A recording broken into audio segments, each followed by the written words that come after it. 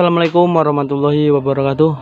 Halo teman-teman Ketemu lagi dengan saya di channel belajar menanam. Terima kasih buat kalian yang sudah mengeklik dan menonton video ini. Semoga kalian selalu diberi kesehatan, panjang umur dan murah rezekinya. Oke teman-teman untuk video kali ini Saya akan melakukan permajaan daun pada beberapa koleksi bonsai kelapa yang saya miliki langkah ini harus kalian lakukan untuk menambah kesuburan dan mempercepat proses pecah daun pada bahan bonsai kelapa tersebut. Nah ini salah satu bahan yang akan saya uh, remajakan kembali untuk pelepahnya dan daunnya. Jadi ini menurut saya sudah kebanyakan pelepahnya jadi akan saya kurangi supaya pertumbuhan daun yang selanjutnya akan tumbuh lebih cepat dan pecah daunnya itu lebih cepat full. Oke buat teman-teman yang baru bergabung dan baru menonton video ini yang belum subscribe tinggalkan subscribe nya jika suka dengan videonya jangan lupa tinggalkan like nya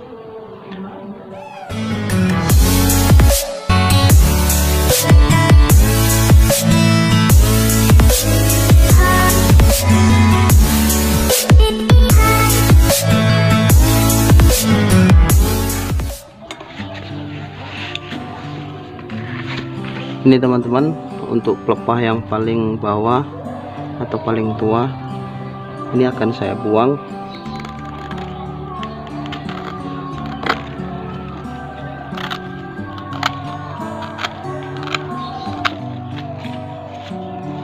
Oke dan merapikan ini bekas potongannya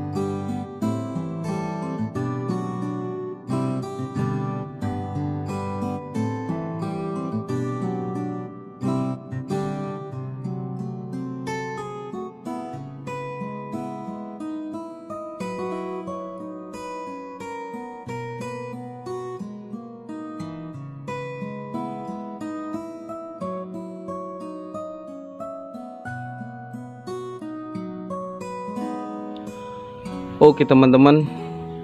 Jadi seperti itu yang saya lakukan untuk proses pembentukan bonggol dan mempercepat proses pecah daun. Jadi yang saya lakukan uh, pruning. Langkah ini sangat mudah dan cepat untuk proses pullnya pecah daun ya. Nah, mudah-mudahan videonya bermanfaat untuk kalian semua jika suka dengan videonya jangan lupa di like dan yang belum subscribe silahkan di subscribe